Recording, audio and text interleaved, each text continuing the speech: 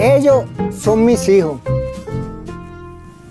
Y todos los animales que yo encuentre es mi familia. Yo me lo pasé era jugar con los perros, bañarlos, sacarle la garrapata, lo bañaba con aceite quemado, que eso es lo que le quitaba la sangre a los perros. Yo siempre prendo el fogón ahí todas las noches. Y comemos los tres, y agarren, coman ustedes y coman yo. Gracias a Dios, a los, vecinos de aquí de este barrio de Guaycoco me ayudan. Primero ellos y después yo. Si yo puedo, ustedes porque los demás no pueden.